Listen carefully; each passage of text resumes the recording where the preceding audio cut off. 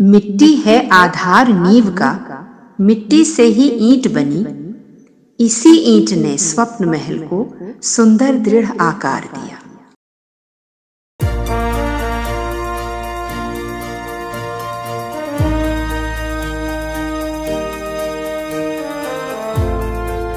Technology of home Bharat में निर्माण की बेहतरी के लिए शैक्षणिक जगत के साथ साथ उद्योग के प्रतिष्ठित दिग्गजों द्वारा ज्ञान साझा करने का एक स्वतंत्र मंच है। ये जेके सीमेंट और association of infrastructure industry India की एक संयुक्त पहल है।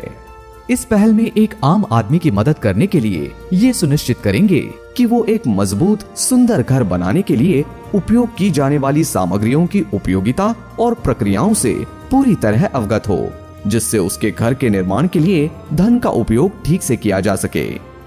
तो आइए हम सुनते हैं प्रोफेसर डॉक्टर मनु संथानम से ब्रिक वर्क के बारे में। So how to identify a good quality brick bricks are made from a process of moulding and then burning at a high temperature so the kiln in which the brick is made has to have a proper control to ensure that the burning happens for the right amount of time at the right right of temperature The brick that is obtained from this kind of a manufacturing process should have sharp edges, should have a uniform dimension. The typical dimension that we are looking for in a brick is uh, 11 inches by 7 inches by 3.5 inches. That's the typical dimension that we see. A brick should have a proper dimension without any breakage at the edges. It should have sharp edges and it should look uniform in color and in appearance. So, another way to look at uh, the quality of the brick is to take two bricks and then sound them or rather beat them against one another which will result in a good metallic sound being created at that point. So, the quality of the sound that you get by uh, banging the bricks together can help you understand whether the brick is of good quality. Another simple test that the home builder can do is take the brick at a height of about 3 feet and allow it to drop to the ground. So, from this height, when it drops to the ground, it should not break. A good quality brick will have sufficient strength to enable it to retain its shape when it drops. Uh, so, how to identify a poor quality brick? Now, one obviously one has to look at the uh, the dimensions being proper. Uh, if the dimensions are not good, or if there is breakage at the edges, or if it's very easy to remove by just scratching with a fingernail, those kinds of bricks are not of good quality. The color itself, if it's not uniform, that gives an uh, that gives a suggestion of a poor quality brick. Now, the color itself need not always be very red. It can also have a yellowish characteristic, depending upon the type of soil that you're getting it from. But that the color has to be uniform after it is burnt. That's most important. So, mostly for residential construction, one would tend to use a red clay brick or a fly ash concrete brick, uh, depending upon the availability and the quality of the material that can be obtained. One direct advantage of a fly ash concrete brick over a red, regular red clay brick is that it absorbs much less water. So, that's one good quality of the fly ash concrete brick that you don't get from the red clay brick.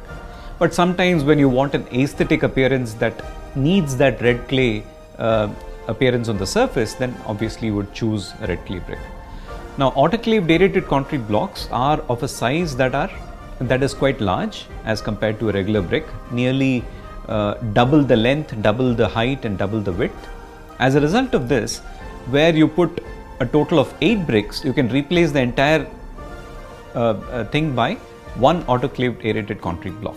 However, because autoclaved aerated concrete is not very strong, the primary use of such blocks is in partition walls and infill walls, uh, especially when you're making a may, maybe a framed structure of two to three stories. In that case, the infill walls can be made with autoclaved aerated concrete. Now, generally, stacking of bricks is done in a very specific arrangement. Uh, in which uh, we uh, ensure that we build almost a squarish uh, sort of a structure and we build it up in such a way that the mason can reach for the brick and place it in the intended wall location as easily as possible to minimize that effort. And this stacking should be done in such a way that the stack itself is stable and the bricks don't tend to topple one way or the other. So, why does cracking appear in brickwork? Uh, cracking in brickwork can appear because of a number of reasons. In most cases, uh, the reasons are related to the plaster that we put on top of the brickwork. Uh, sometimes we don't choose our sand properly for the plaster if there's too much silt in it, or if clay matter is present in the uh, sand also, it can lead to some swelling and absorption that leads to expansions. Uh, the other possibility is uh, that uh, uh, there is significant bit of water absorption happening by the brick. Uh, then there are structural causes that can actually be much more serious because when you have a plaster crack, it's not that serious, you can repair it. But structural causes are a lot more serious where you may have foundation settlements uh, and then you can start seeing much wider and larger cracking happening in the structure. So, what type of brickwork bonds are used? Uh, now, bond essentially uh, means the method of arrangement of the bricks. So, you may choose to arrange the bricks along their length, side to side, or along their the cross section, side to side, or you can mix and match the type of arrangement in such a way that your wall gets the maximum strength.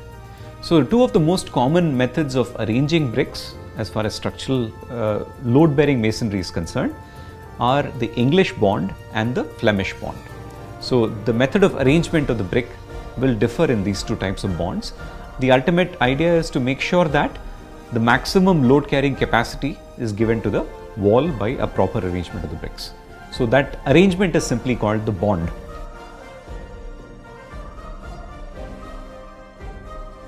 Professor doctor Manu Santhanam एक building technology of construction management division निर्माण के विशेषज्ञ और वर्तमान में IIT Madras में IC और SR विभाग के एसोसिएट डीन हैं। टेक्नोलॉजी ऑफ़ होम सुदृढ़ सुंदर निर्माण।